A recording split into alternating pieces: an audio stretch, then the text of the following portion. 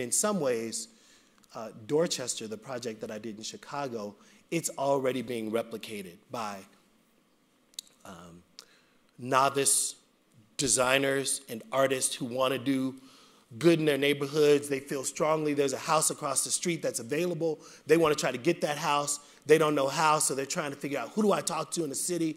And that kind of stuff is happening. Or like a neighborhood association who says, we don't want outsider developers to get these things. Can we talk to a land bank and, and can we aggregate all the properties together and then think about what the cooperative return might be?